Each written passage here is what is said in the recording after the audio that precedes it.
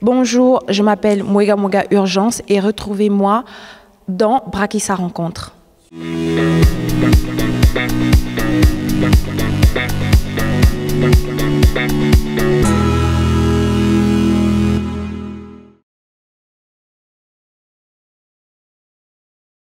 Maria Urgence Mouega, bonjour. Bonjour. Merci de nous recevoir ici. Merci à vous. Alors, ça fait combien de temps que tu es installée en Espagne et comment s'est passée ton intégration ici? Euh, déjà, merci d'être ici avec nous. Euh, je suis venue en Espagne en fin 2014, début 2015. J'ai reçu une bourse olympique et voilà. Je suis ici. Et comment ça s'est passé? Alors, depuis que tu es là, comment ça se passe?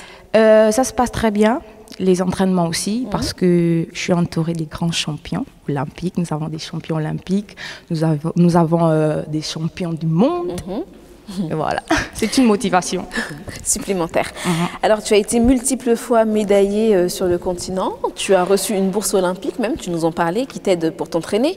Pourquoi est-ce que tu as choisi de t'entraîner ici en Espagne et pas ailleurs? Euh, J'ai choisi de m'entraîner ici en Espagne à cause de Anthony Obam, qui est notre premier médaillé olympique 2012 à Londres. Et aussi les champions du monde en 2013. Donc pour moi, ça a été une, ça a été, euh, une motivation. Et euh, nous avons aussi un grand, un grand entraîneur, Juan, Juan Antonio Ramos Sanchez. Sanchez. Euh, C'était un grand compétiteur. Donc, euh, pour moi, ça a été une grande motivation. Voilà pourquoi j'ai choisi d'être ici. Hmm. Alors, quelles sont les différences entre les conditions d'entraînement en Europe et celles que tu as pu connaître en Afrique? Il y a une très grande différence. Alors, dis-nous. Déjà, euh, en Afrique, on n'est pas trop suivi. Et on s'entraîne deux fois dans la semaine, le mardi et le jeudi. Euh, et le reste des jours, c'est en club. Et donc, euh, il n'y a pas trop de motivation. On a des, des, des, des choses à faire. Et ici, bon, c'est vrai qu'il y a autre chose, mais ici, on est, on est mieux suivi, au fait. On s'entraîne matin, soir, du lundi à vendredi. Et hum, on est bien suivi alimentairement. euh, Toutes les conditions sont réunies. oui, en toutes les conditions sont, sont réunies, c'est ça. Hmm. Alors, d'ailleurs, comment et quand est-ce que tu as commencé le taekwondo? Euh, J'ai commencé le taekwondo en 2009. Ouais. Au fait, quand... Tu avais pour- quel âge? J'avais euh, 17 ans, 18 ans. Euh, pour moi, le sport n'existait pas, en fait. Quand j'allais à l'école, pour moi, c'est aller à l'école, faire les études et terminer, quoi. Et après, moi, quand j'ai commencé, au fait, je faisais de, de la gymnastique. Je- Je faisais de la gymnastique. Et j'avais une amie qui faisait du taekwondo et en même temps la gymnastique. Et elle a vu que j'avais un, un bon corps, grande et tout, pour faire du sport. Et elle, elle me parlait de ça tout le temps, mais moi, je n'étais pas motivée. Je disais, c'est quoi ce sport où tout le temps vous criez ya, ya, ya, et vous frappez dessus sans problème Donc, euh, elle, me disait, non, non, tu as, une, tu as une très bonne taille, tu peux venir. Et voilà, si tu veux, tu restes. Si tu ne veux pas, ben, si tu n'es pas intéressé, vas, tu ouais. t'en vas. Bah, Finalement, tu es resté. Alors, qu'est-ce Oui. qui t'a attiré dans ce sport? Donc, euh, le premier jour que je suis partie tester, Mhm. Première fois, j'ai testé. Bon, ça m'a pas trop plu parce qu'on se frappait dessus, donc moi j'avais mal. Ouais. Et après le deuxième jour, j'ai dit bon, je vais quand même essayer et on verra. Et après, une semaine après, ça m'a plu. Et, et la deuxième semaine, il y avait une compétition nationale. Et, et j'ai compéti pour la première fois. Et j'ai gagné pour la première Ah, fois. bah oui, donc c'est une raison Voilà. supplémentaire pour Et rester. après, euh, c'est à ce moment que je suis rentrée à l'équipe nationale. D'accord. Et quels sont tes modèles dans la discipline? Mes modèles dans la discipline, Ouais. Anthony Obama. Ouais, pourquoi? Parce que euh, déjà, c'est un très bon exemple. Et c'est grâce à lui que je suis ici. Automatiquement, il m'a accepté sans, sans, sans avoir de doute, sans rien du tout. Il t'a fait confiance. Voilà, il m'a fait confiance et j'ai eu totalement confiance en lui aussi. Et pour moi, ça a, ça a été une source de motivation. Que si lui, il a été médaillé olympique dans des bonnes conditions, donc si moi, euh, j'y vais aussi, je peux être aussi une, deuxième Et entraîneur. tu penses que pour le moment, il est satisfait du parcours que tu as accompli Oui, jusqu'ici oui. Ouais. Parce que à un moment donné, j'ai arrêté parce que je me suis fait opérer du genou. droit, ligament croisé. Mhm. Donc euh, voilà, j'ai fait presque deux ans sans Ouais, compétir. Et tu as été revenu. Ouais, je suis revenue, ça fait pas longtemps. Alors, comment tu qualifierais ton style de, de combat? Mon style de combat. Bon, déjà, moi, j'ai pas. On peut dire quoi? Bon, mon style de combat n'est pas trop compliqué. Moi, j'ai- Ouais. j'ai un style de combat simple. C'est-à-dire? Euh, je suis pas trop. Double bide, de- Et je suis trop euh, ça, step normal, Ouais. tranquille dans le combat, pas trop stressé. Mhm. Et voilà. D'accord. Et comment tu décris ta relation avec ton coach, Juan Antonio Ramos, justement? Très bien. Parfois, il est un peu. Parfois, il énerve. Ouais, Mais on est obligé de faire avec parce que il le fait, c'est pour notre bien en Bien fait. sûr. Donc c'est un très bon coach et un deuxième parent pour moi Mm. parce que il se, il, il se préoccupe beaucoup pour nous et pour Mm. moi aussi. Et qu'est-ce qui te motive aujourd'hui? Qu'est-ce qui fait que tu te lèves chaque matin pour travailler aussi dur?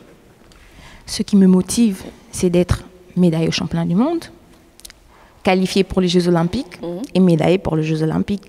En fait, j'ai envie de me faire connaître dans le monde entier en tant que bonne sportive.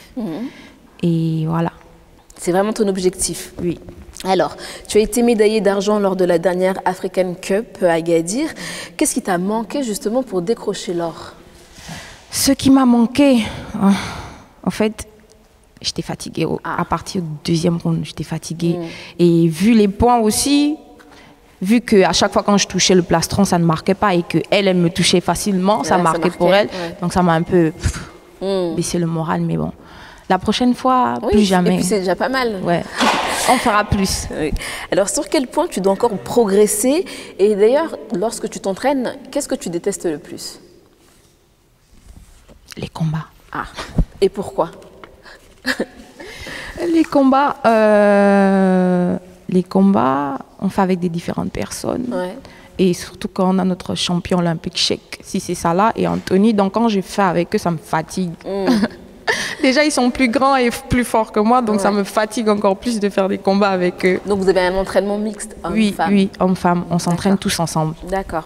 Alors, tu as déclaré récemment que tu voulais une médaille olympique, que ce soit à Tokyo ou à Paris. Est-ce que c'est important pour toi d'afficher tes ambitions? Oui, c'est très important. Dis-nous pourquoi. Euh, premièrement parce que je vais être une fierté du pays et de ma famille et de ma mère parce que c'est une source de motivation aussi. Ouais. Et franchement, si je suis médaille olympique, merci au Seigneur. Alors, est-ce que ce n'est pas risqué d'annoncer la couleur si ensuite finalement tu n'atteins pas ton objectif ou alors c'est une façon de te motiver? Bon, si je n'atteins pas mes objectifs, ce n'est pas grave. Mais on ne se décourage pas. Ouais. On Et continue. tu auras fait de ton mieux, j'imagine. Oui, j'aurais fait de mon mieux, mais ce pour le moment, ce n'est pas ça. Mais on continue. Je vais continuer et je vais jamais me décourager. Alors Maria, lorsqu'on te suit sur les réseaux sociaux, on voit que tu es un peu le rayon de soleil, je dirais, du club. Nous, on a pu constater, tu danses, tu ris, toujours prête à mettre la bonne ambiance. Mais alors, d'où te vient ta bonne humeur contagieuse De ma mère. Ah, bah voilà.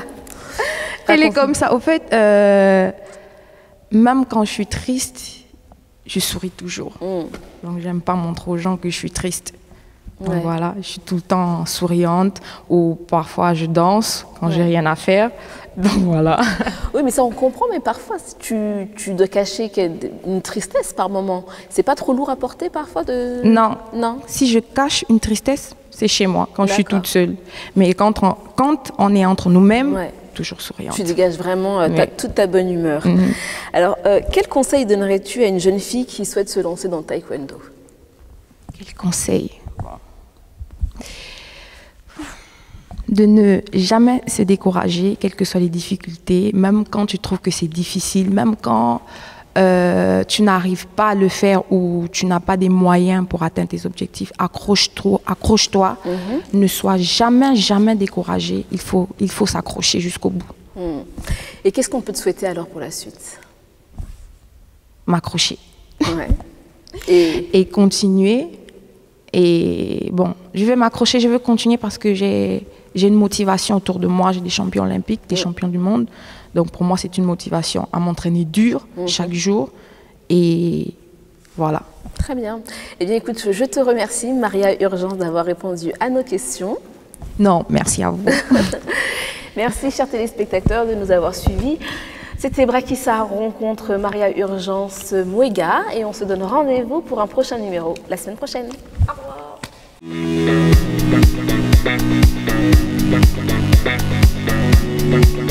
you.